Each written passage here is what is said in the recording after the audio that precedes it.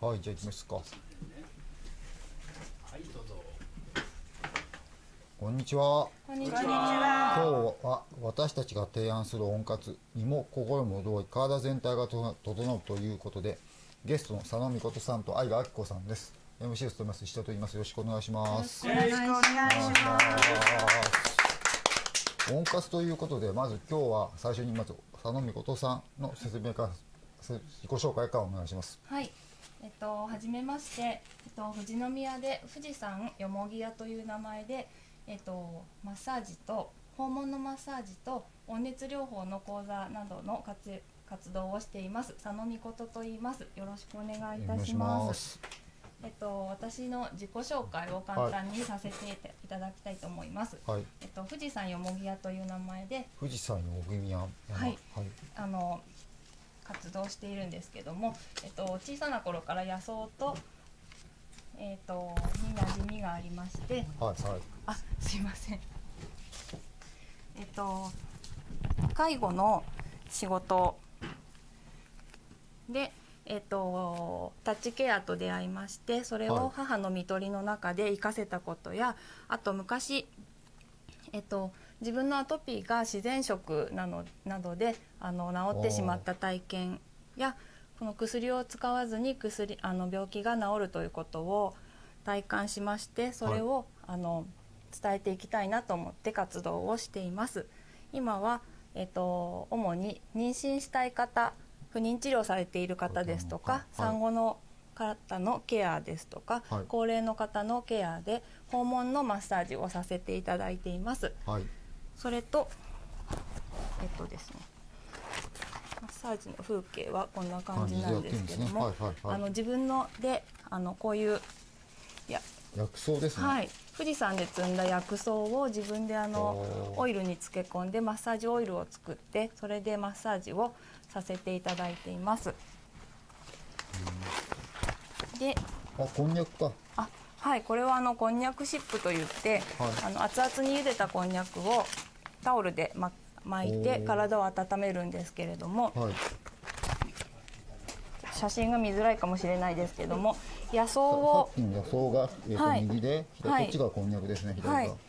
野草を直に体に当ててその上からこんにゃく熱いこん温かいこんにゃくで温めます。でこれをしながらマッサージをするというスタイルであの妊活などに活用していただいています、はいは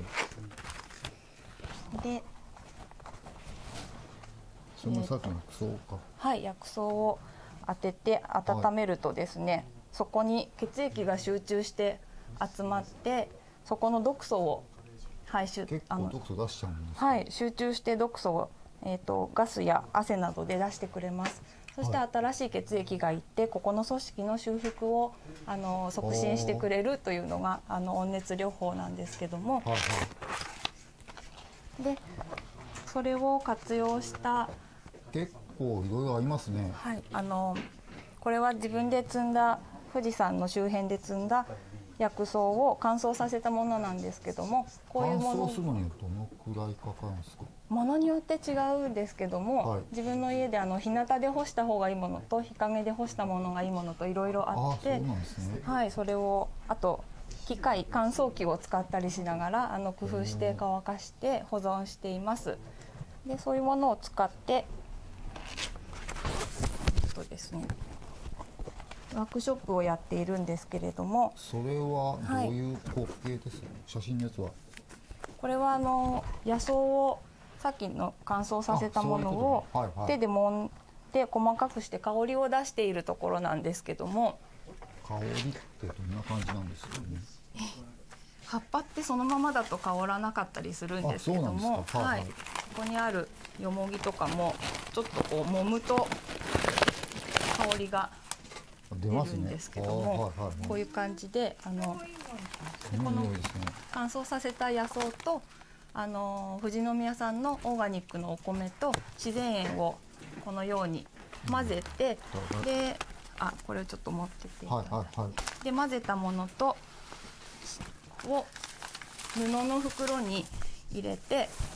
でこれであのレンジで温めて使うあの蒸気で温めるホットパックを作るという講座を行っています。レンジでは何分ぐらい温めるんですか？レンジで23分温めるとこれ中身が1 2キロぐらいあって大きなタイプのなので30分ぐらいは温かいんです、これであの病気のあるところですとか。幹部に当てるってことですね。はい、あと妊娠したい方はお腹の上ですとか肩こりの方とか目の疲れがある方はその部分にこうタオルで巻いて乗せてもらうとあの蒸気の力で芯から温められてその部分を修復してくれるという。ということは血流が最結局良くなるってことですか？最終的に。そうですね血流が良くなって、はい。あのとてもあの病気の治療としても使われている昔ながらのはい。手当を元にして、あの作っています。はいはい。であの香りもとても良くてまさたっきの問題の匂いとかも出てくるんはいですね、あはいまた温めると香りが立つので、とてもそれがあの好評いただいています。すごいでねそういうワークショップやをしています。はい。はいあはい。まだ5分ですいませんでもそういうことの活動した契機ってさっきお聞きした母親さんの母お母さんの問いとかはい。自分のそのあの、まあ、アトピーの体験とかだと思うんですけど、はい。はい。そういうのを通して何かこうすごくこう、はい学びになったんですね。そうですね。あの昔子供の頃アトピーがひどくて、はい全身ステロイドを塗ったりしていたんですけども、はいうんと10代後半の時にもうな治ったかなと思っていたんですけども、その時に自然食オーガニックの食べ物ですとか添加物が入ってないもの、無農薬な野菜ですとかそういうものを集中してある時食べ始めて、はい。1ヶ月ぐらいしたらあの体中から赤い点々が発疹がバーって出てきてでこれは何だろうって思ったら昔薬かを使ってたところから主に出てきてであのそれが体験されたんですね。そうですね。それでびっくりしたんですけどもはい。あのまああの体にいいものだけを取っててそれが出てきたのでそれがあの好転反応とかデトックスの作用だよっていうのを教えてもらってであそうか自分の体験会やってるんですね、すごく。そうですねそれで3年ぐらい1回出始めてからもう体中ベトベトであのアトピーの人がすごく辛い時の状はい態っていう感じに全身なったんですけどもそれで多分一気に毒素が出せてはいはい。でそれが出終わったら元より元の状態より皮膚がきれいになったんですでアトピーの症状がバーって出てバーって治ったのと同時にひどかったアレルギー性の鼻炎も治ってしまって鼻炎ってこれからの時期ですよね。あのそうですね花粉症のひどいみたいなのが一年中昔あったんですけどもそれも一緒に収まってしまったんですよ今はそんな風に見えないですけど。そうですね今鼻炎も花粉症もなくてあのかゆみとかもなくて皮膚もとっても生まれ変わったように綺麗になった。んですよそれが昔そのアトピーが出る前より肌が綺麗になったという体験をしてあのというところ今言うとはい再生っていうのか、そうですね皮膚が自体が再生されたっていうのか。はい生まれ変わったみたいな感覚があってはい。であのまあ病気何でもそうか原因がそれぞれ違うので分かんないですけども、はい。なんか化学物質とかそういうものが原因で出たことはそれを取り除いたりデトックスすると症状が軽くなったりはい。す症状をなくしたりっていうことが自然のものでできるんだなっていうことにとってもあの驚いてでそういうやっぱかゆみがひどい時とかこういう野草を煮詰めてお風呂に入れたりするとかゆみがあのああよくや和らいだり。よくやってますね。あの温泉とか入るといいとかってあれも、はいはい結構温泉の作用でやってるけど今度薬草でそれが可能だってことですね。そうですねやっぱりかゆみを抑えてくれたりとか炎症を抑えてくれる作用が薬草にあって、はいはい。はい、それでわ私自身とても助かった経験をしたのであのそれをお伝えしたいなと思って活動しています。佐野さんのそういう温活っていうのは、はい、佐野さんのサロンに行かなければいけないんですか、それともなんかこうこう家庭でもできるってことを教えていただけるんですか？そうですね。私まだサロンを持っていないので今訪問でマッサージをさせていただいてるんですけども訪問でさっきのこんにゃくシップをやりながら全身のオイルマッサージですとか、はい。あとこういうホットパックを作るのは講座とかで県内いろんな場所であのさせていただいています。今まではだいたい富士宮静岡以外にもやったことあるんですか浜松とかにえっと三島ですとか浜松でも有賀さんにあのお誘いしていただいて、はい。はい。あの浜松ですとか焼津のあのシルバー人材センターさんの中でさせていただいたりですとか、そうですね。じゃあ、はい。すいろんなところでご縁ができてるわけですねだんだんとそうですね。はい呼吸した方がいいいいですか？はい、はい。最後にこう。はい。でこれがあの2月29日ですね今度はい2月に2回またこのの。ホットパック作りをさせていただくんですけどもはい。2月の17は富士宮のエポさんという、えー、と障害者の方の就労支援をされている場所があるんですけどもあの富士山の麓のとても気持ちのいいところであ。の馬セラピーなども取り入れてる、ラピはい、乗馬のセラピーとかそういうのあってるんですね。はい。はいそういう場所でさせていただくのと29日は静岡の広野館さんっていうとても素敵な場所があるんですけどもご縁があってそちらでもあのこのホットパックを作る講座をさせていただきますので、あのもしご興味がありましたらあのぜひご参加ください。まだまだ募集中です。約はどういう感じで？で？予約はですねホームあのインターネットで富士山よもぎ屋って入れていただくと Facebook ですとかあのインスタグラムですとかのページが出てくると思うのでそちらでメッセージをいただけると。あと、はい。せっかく焼津テレビに出てるんで焼津テレビに出たよっていうとなんか特典ありつけてもらえます？あそうですね。特典特典はどうしましょうか。焼津テレビ見たよと言って来てくださった方はあのじゃあ参加費500円オフ？何名まで？えっとねこちらの定員が10名から13名ぐらいなんですけどもまだ結構人数があのこちら空いてますのでぜひ。ということですのでぜひぜひ、はい。あの2月の29日ですね静岡の方は、はい29日土曜日に、うんで500円引いてくれるってことはもう何名まで、えっとねあと9名ほど。5, 5名わかりました。じゃあ。5あと5名ほどはあの入れますのではい。ということですのでよはい。ろしくお願いします、はい、であとマッサージの方もですね焼津テレビさん見たよと言ってくださった方は500円。10%オフであ10%オフ。はい。させていただこうと思いますので。そうですね。あのぜ全額で今マッサージは1時間6000円でこんにゃくシップ付きでさせていたとだいてるんですけどもそうですねあ結構じゃあの5400円でいいってこはい。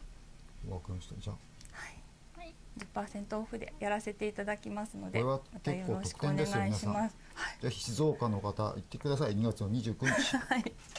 広野館さんとですねちょっと僕、はい。ば場所はちょっとわかんないんですけど、はい。よろしくお願いします。よろしくお願いいたします。お願いししまます。すありがとうございます。ありがとうございました。さんの方でお願いします。はい、はいではあの佐野さんとあのあワークショップをあの私のイベントでやっていただきまして、まあまあ、私がやっています温活というのにすごくぴったりするなということで11月29日浜松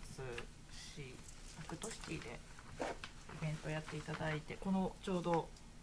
温温熱はい療このホット法ということで、パックをははいい、やっていただいて、はい、あのひょっとしてそれが浜松デビューですか？あそうです。はい、はい、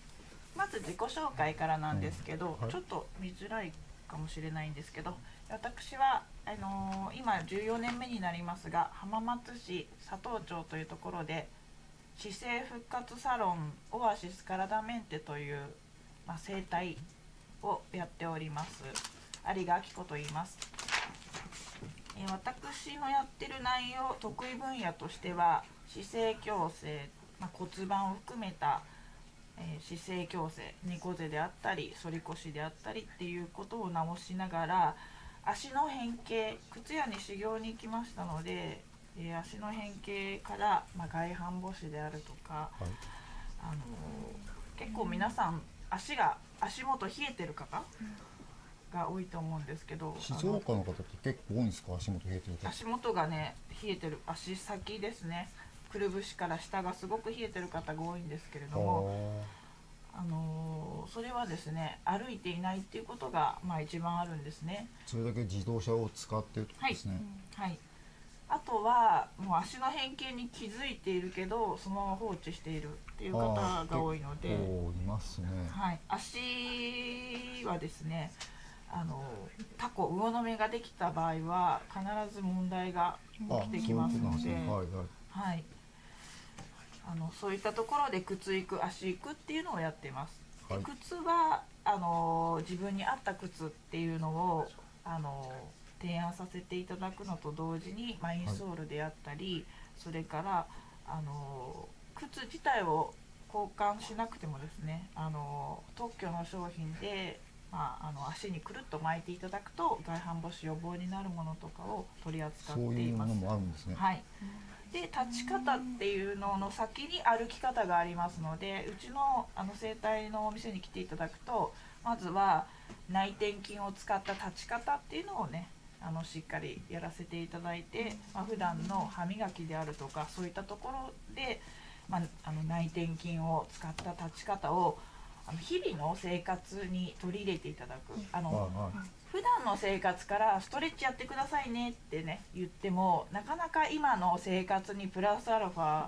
やるっていうのが厳しい。ですよね、はい、なので今の生活朝晩の歯磨きの時に体幹を使った立ち方をしていただく、内転筋を使った立ち方をしていただくっていうのを、まあ、整体の最後に教えていまして、まあ、それをセルフケアと言ってるんですけど、あのトータルして毎回毎回こう姿勢を直して、まあ、骨盤矯正をさせていただきまして、まあ、姿勢がねだんだん良くなっていく猫背がだんだん改善されていくっていうのを実感、まあ、していくんですけどもそれと同時に、まあ、今まで足を組みましたとかですねあのこう立ってる時に何て言うんですか右側に寄るとか。ありますね、はい。寄っちゃったりとか、あのそういったあの悪い癖がある方っていうのは、本当にあの足組みませんよってね整体の終わりに言っていただいた後最後にねあのちょっとお話しする時も足を組んでいたりとか。本当にあの無も視であの無意識でやるっていうことがあるので、まあ、そういったところをねあのもう気づいたら組まないようにする。気づいたら組まないようにするっていうこととあとは睡眠の質を高めるっていうようなね提案をさせていただくためにあのお風呂の入り方？そこまでお風呂指導するんですか？の入り方っていうのもですね。はいはい。やっぱり暑いお風呂に入ると夜寝れなくなってくる。もうあのこう活性化して。今からあの例えば朝朝シャワーを浴びて厚めのこれから出かけるぞっていう時にはね熱いお風呂シャワーっていうのはいいんですけど寝るっていう時にはやっぱりちょっと温度低めじゃないとですね寝るモードにならない。体が動くぞっていうモードになるもんですから、まあ、そういった自律神経のお話なんかも整体の時にさせていただいて浜松でやってますけど一番多いのはやはりシャワーだけっていう方が大変多いのであの普段、まあ忙しいとなかなかはい、仕入ってる事終わってあの湯船に浸からないという生活ですね、まあ、そういった生活の方が多いので、まあ、そういった方にはもうはい。シャワーではなく、休みの日ぐらいお風呂に入ってくださいねとかですね。あとうちのお店に来た時に温活、えースマーティーよもぎ虫っていうのがありますので、まあ、そういった、まあ、こういったドームに入っていただくんですね。温活。あはい。でこのスマーティーっていうのはあの顔が出す出てるので、まあ、大変楽っていう、まあ、あの当店一押しってなってますので。全体もこう入れちゃうはいことか、あのちょうど半円形のかまぼこみたいなああ。こういう形になってましてドームに、まあ、はいそこに入っていただくとですね、まあ、あの皮脂腺っていうところから汗をかくことができまして、まあ、あのデトックスですね。悪いものを外に出すっていうのをですねもう半円になっているのでちょうどいい感じにどんどんこう体中が芯まで温まりましてあの汗腺といって普通の汗とは違いまして皮脂腺から出ますとベタベタしない汗になりまして、まあ、これがですねあの本当に体質改善にすごく良くて、まあ、整体の前にやっていただくとより温まって効果が出るっていう感じで今やってます。あとはまああのよもぎ虫って言って、まああのね、ちょうど富士山よもぎ屋さんがいらっしゃいますが、よもぎの魅力を知ってるものですからまあよもぎ虫っていうのをやっていただいて、まあ、あの女性に特有なお悩みですね、まあ、不妊であるとか、まあ、あの冷え性であるとか、そういったところをですねあのアプローチしていく。えっと佐野さんがやってる温活あ妊活とまあつながってるそうことですすね。そうよもですね。ぎの成分がとても、まあ、昔からあのいいということで、特にうちでは無農薬のものを取り扱っているということになります。あとはホットストーンって言って石であ温めながら石を使ってこうリンパを流していくだとか、まあ、光線療法といって、まあ、妊活の方は知ってるかもしれないんですけど、まあ、光を当てるあまあこれはですね、まあ、カーボンでねこう熱してバーッと当てるんですが、まあ、お腹に当てていただいたりすることで、まあ、あのメラトニンアップ、まあ、あのし調べていただくと分かるんですけど、まあ、そういったところで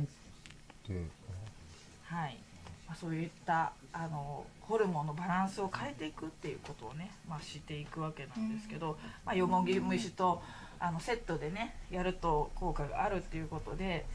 あの私自身がね、まあ、あのそういったあの妊活の方が、まあ、多いなっ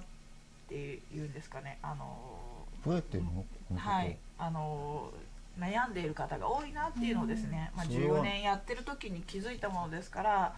まあ、やはり冷えてるんですね。体中が冷えている。なので、まあ、この光線っていうので内部まで温めて、さらによもぎ虫もやってっていうねちょっとスペシャルそんな感じ今冷えてる人多いんですか、はい。冷えてますね。足先が冷えていたり、あああとやはりあの内部、うん。特にこう、まあ、夏の時期とか冷たいものを飲むっていう、ね、ああでもそう体なっちゃいますよね。はい、なので夏なんか常温の水がいいとかってよく言いますけど、そうですね。冷やしすぎない方がはい。あいいですし、はい。あとやっぱりあの現代人あのなんていうんですかね。化学物質がいっぱい入っていてこのはいホルモンが乱れてしまったりですとか、それであなかなかそののそれで妊娠ができにそう辛い体になってるんですね、はい。はいなのでこういろんな方法で毒素を出して温めるっていうのはすごく、はい。あのダイレクトに効果がある方法で、あのいいとアクシデント失礼しましたアクシデント。とても効果があると思います。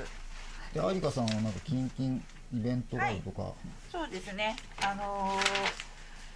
えっ、と明日ですね。明日ちょはっと。い藤枝ですね、えー、ビビさんバレンタイン。ちょうどバレンタインですね、はい。今週は、バレンタインマーケットということで、マーケットなんだ。はい、あのフットプリント足型を取りましてあと靴育歩き方それから、まあ、姿勢のアドバイスっていうことであの大人の方1000円子どもの方400円ということでねさせていただきます。えなんか八重テレビ見てるって言って得点をちょっとつけてくれるといいんじゃないかなーなはそうですね、あのー焼津テレビ見たよって言っていただくと、あのー親子で1000円っていう子供料金取らないでいやいいですねそれは、はい、やらせていただきますんでぜひねあのご支援いただきたいと思います。それから最後この自分もやってるのでまあ頭？あの、ふえー頭ドライヘッドスパっていうんですけど頭をほぐす。頭のほぐしがまあはいはい。頭を直にねこうマッサージというかほぐすんですけど、まあ、それをまあやりながらですねはい。あのー脳を活性させるっていう、まあ、脳体性理論っていうのに私は、脳体性理論はいセミナー、まあ、あの脳と心の情熱教室っていうのがあるんですけれども東京にある可能性出版あのはあ可能性アカデミーというところがやっている、まあ、脳と心の情熱教室っていうのを、まあ、私の母が母様が？はい。私の母が脳梗塞になりまして、脳梗塞っていうことで脳と心の情熱教室って脳って何かなっていうところからやっぱり脳梗母が脳梗塞なんで脳っていうことを知った方がいいな、やはりあの母は脳梗塞になってから歩きがですねはい。ふらつくんですねこう足元が。はいはい。整体師をやってるので、お母さんちょっと足ふらついてるんでちゃんとこうね姿勢あの直してあげるよということで、まあ、うん。やるんですけれども、やはり脳なのでまもうあ確かに、ね、はい、もう治らないというかふらつきが全然改善されないんですね。なので内部から変えたいなと思いまして脳と心の情熱教室に、はい、行き出しましたら私自身がとても、まあ、元気になりまして脳が活性化してくるので、すいません。はい。ノートほノート心の情熱教室をあの浜松でやりますのでですね今度とうとう。はい、2月22日土曜日浜松サーラシティですね、えー駅から近いところ。ね。はい。はい、コミュニティルーム、えー1時と6時です、えー2000円前う前あの事前予約で2000円になります、えー予約はコクチーズっていうところでもセミナーサイトですね。できますし私の方に言っていただいても大丈夫です、と1時と6時ではい。2000円ずつ、何時間円ですか？えセミナー自体は2時間であとはですねこうコミュニケーションタイムというのがありますので先生のお話自体は2時間であとはあのじゅあの受けてるあのセミナーを受けた方とコミュニケーションをするはいはい。のを活性するとどうなるのとかですね、まあ、お互いにシェアし合ってお話しするっていうねはい。時間になってます。はいはい。まあ、これをねやり始めてから私はツイッターで社会貢献あの社会社会貢献ーですね。あの静岡新聞っていうのを見ましてあの献血してるところをこうここでやってますよってアップしてみたりそれからあの浜松市のあのなんていうんですかねまあ、いろいろな場所にある、まあ、AED とかあるんですけどそういったところを写メ写真を撮りましてここに AED, AED あるよ。社会貢献ですねまさしく、はい。そういうのをねあのやったりそれからこれ始めてからね献血したりとか、はい、献血。本当にあの、ね。はいそういったところを貢献してます。ぜひお越しください。そうそう、えー、と終わりになってきたので。そのさんなんか最後一言ありますか？あえっと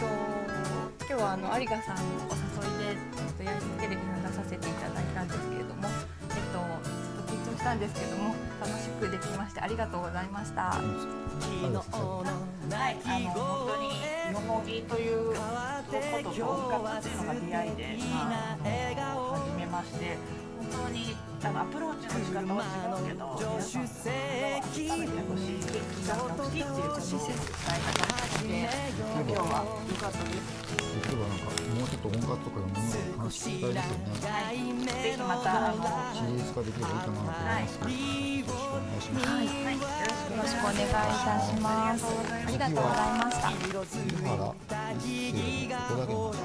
ゲストアイテスクラブヘッドコーチ日本プロステージ協会公認のプロフェッショナルスリープイントアドバイザースタッフの森田祐介さんゆうきさんですよろしくお願いしますここにいただいてこれが今日はこれで以上ですありがとうございましたありがとうございました。